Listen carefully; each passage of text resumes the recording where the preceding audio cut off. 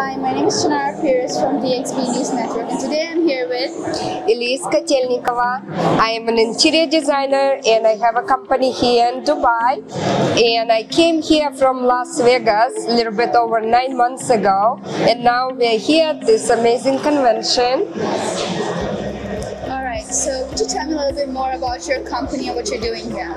Yeah, definitely. So, like I say, I'm an interior designer, but the specialty is 3D rendering, walkthrough, but the passion what I have is to create virtual reality, which is very great tool, and it's growing market right now. So definitely come by. We'll do a presentation for you at our office, Marasi Drive 93 in Business Bay, and the website theluxeinterior.com. Okay. Okay. Also, could you tell me a little bit about how you're feeling today at IPS 2094 Day 2? Oh, it's amazing. So, so many great developers, real estate to see all over the world. The development is booming. So, of course, this is amazing, especially me as an interior designer to see that improvement.